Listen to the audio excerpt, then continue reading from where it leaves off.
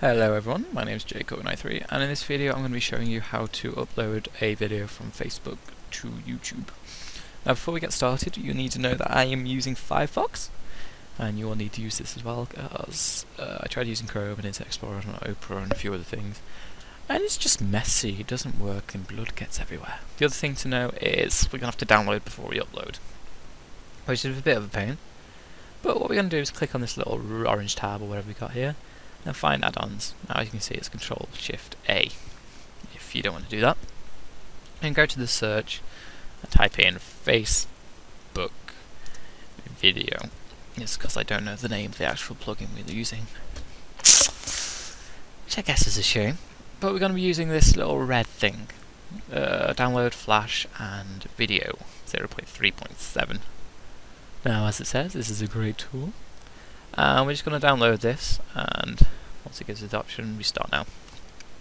I've already installed this a few times, so it'll be a lot quicker than when you try to do it, presuming it's your first download of that particular plugin. So once we boot it back up, we will have our pages back up. And we're going to extensions. And as you can see, it's installed. We want to go on options and make sure this little show toolbar icon is selected and press OK. Next thing we want to do is find our Facebook video. So I already know my which video I'm using. So to speed things up, I'm just gonna go and we're gonna make sure this is fully loaded. Now clicking that little tick box means this little button right here is going to appear in the Facebooks, I guess. So once this video is fully loaded, we can click Right, do we have to press play first? Yeah, we have to press play first for it to load. Silly me.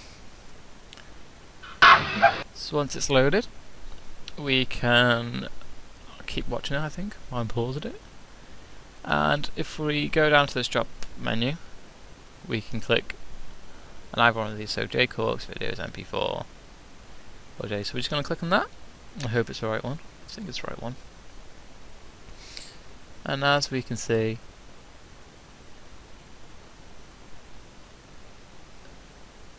we can save where I want and it saves it as an MP4 so we're just going to save that. Oh he's got bacon.